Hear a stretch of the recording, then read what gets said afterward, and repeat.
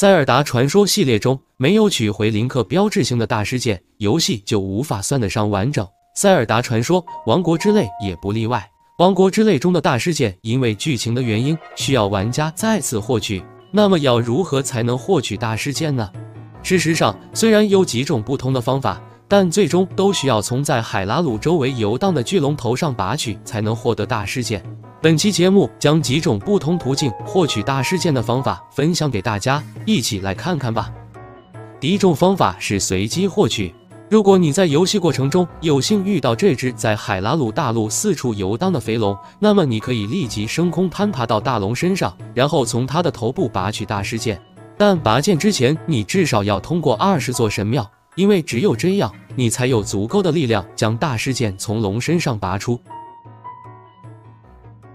如果你没有遇到巨龙，或者它没有处于最佳位置，那么还有两种方法可以放置跟踪标记。从而更轻松地找到巨龙的位置。其中一种方法是完成主线任务后，你将被要求寻找大事件，完成名为大事件的足迹的任务。完成这个任务需要去克洛格森林中找德库树长老交谈。但是与前作荒野之息不同，森林不能从海拉鲁的田野进入，因为迷雾太厚。所以我们选择从地下走，然后用通天术上去。记得先给地图上的森林中心打一个标记。这样方便我们地下行走的时候确定方向。在途中我们会遇到幻影加农，打吧。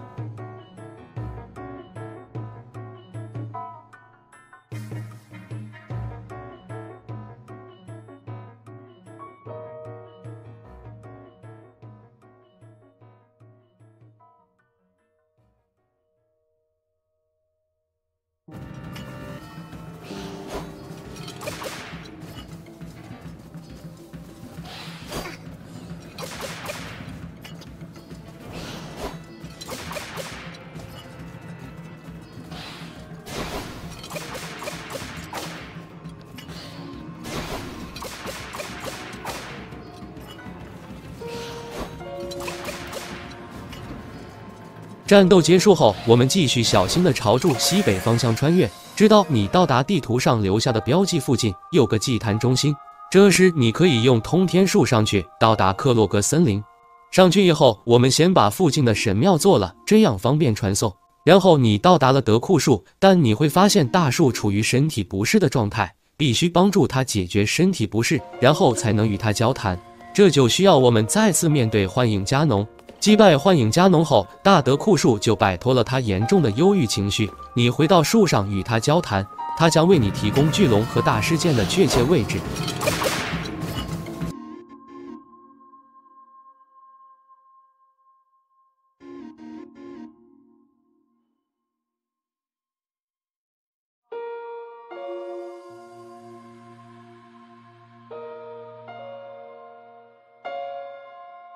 得知巨龙的确切位置后，等它飞到比较靠近的鸟望台的时候，我们就直接飞过去。飞之前穿上滑翔服，带上必备的药品。特别需要注意的是，要保证自己有两管精力。拔剑时是不能吃药的。飞到巨龙身上后，先把能拿的材料拿下，然后走向龙头大师间的位置。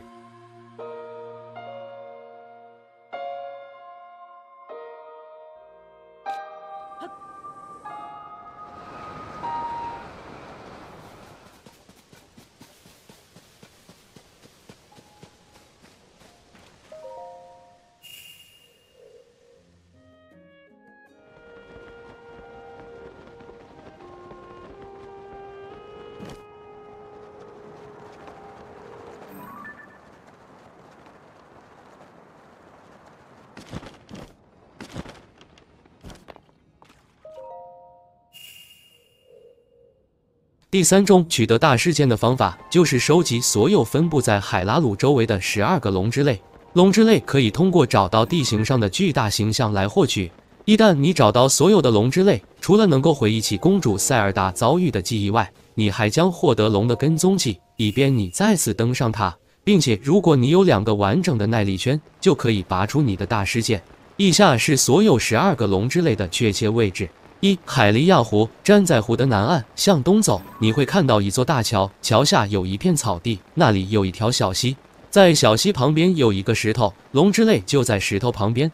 二、拉涅尔山，爬上山顶，你会看到一只青龙，它会在天上飞行。当你接近它时，它会停下来，你可以用箭射中它的背部，就能获得龙之泪。